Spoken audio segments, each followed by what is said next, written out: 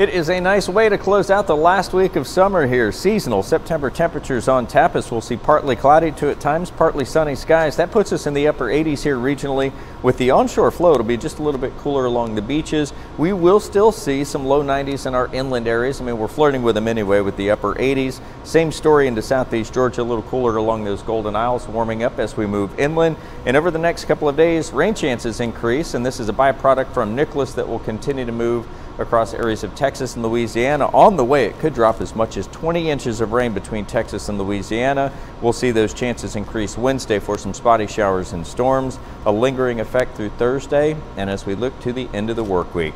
That's your forecast on the World Wide Web at news4jax.com. Always just a shout away on your favorite devices.